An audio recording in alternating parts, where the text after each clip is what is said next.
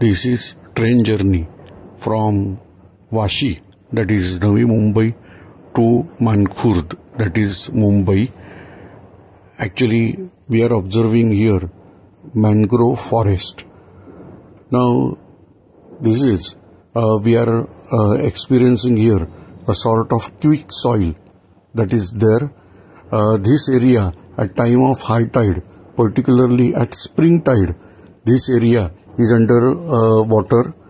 Uh, you can check out because uh, we are traveling with train. Speed is very high, but still you can check out that at root portion, sort of mud that is observed here. So this is all category that is called as mangroves. You will find this forest is evergreen forest.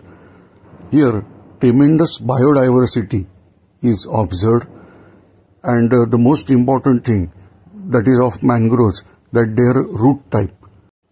These roots are called as breathing roots or pneumatophores because some part of root that start growing upward direction and they are coming out of the soil. Now we can observe clearly the water.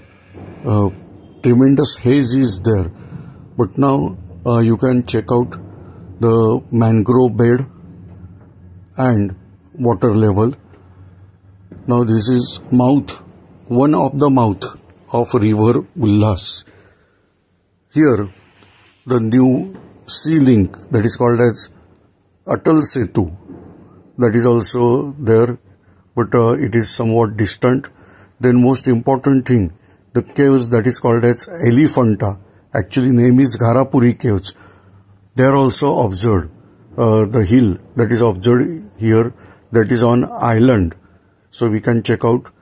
Now here we are traveling continuously through the creek that is one of the mouth of river Ulhas having origin at Khandala, one of the origin at Khandala near Fort Rajmachi and from that it is coming to here and one mouth is towards Bhayandar side.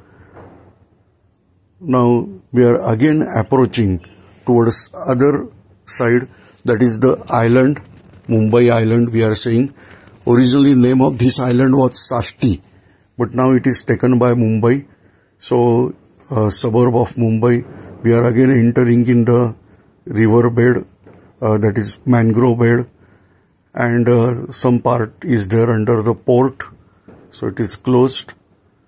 Some roads are constructed here and you can observe now a distant view of this mangrove forest. Now this is shallow region and we can check out here salt beds also because here lot of production of salt that is from creek water that is carried out. See this type of water is trapped. Now at time of spring tide that is full moon day or new moon day whatever the high tide is there we are calling that as spring tide. And at that time, the water is tapped here. And then for 15 days, it is dried to get salt. This is the salt bed we are observing here. Land is extremely observed as plain land. And uh, at distant, we are able to observe hills. We are aware BARC and all that area is there. And now we are coming to the mainland slowly that is called as uh, actually mainland of island we are coming. So we are coming out of this muddy area or quick soil area and uh, going to the mainland. Thanks for observing this video